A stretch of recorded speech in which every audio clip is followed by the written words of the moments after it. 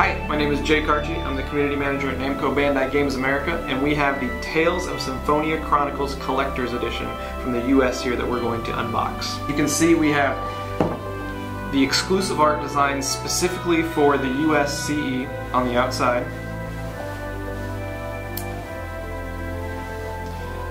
And these are all numbered editions. There were only 18,000 made. Here we have 17,997 out of 18,000. So we're going to open it up. The first thing we have is the game and the steelbook. Inside the standard version of the game, we have the disc, the game disc, and the instruction manual specifically requested by fans. Everyone loves those instruction manuals. And you also have the reversible cover art that you can take out that has exclusive art created specifically for the collector's edition.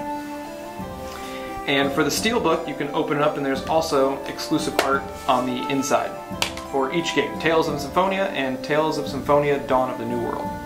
Next up we have the Tales of Symphonia Chronicles Collector's Edition soundtrack. For the Tales of Symphonia Chronicles Collector's Edition soundtrack, there are four discs included and a total of 98 tracks. Two discs from Tales of Symphonia and two discs from Tales of Symphonia Dawn of the New World. Next up we have the Art of Tales of Symphonia Chronicles. First off on the back of the book you have your DLC voucher for your custom theme. And inside of the book is character art and 32 pages in total. At the beginning is character art and then in the back there is game box art and the collector's edition art.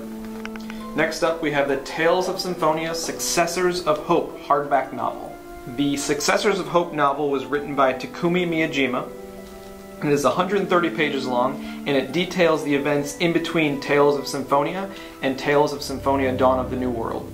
It was written specifically for the Tales of Symphonia Chronicles release.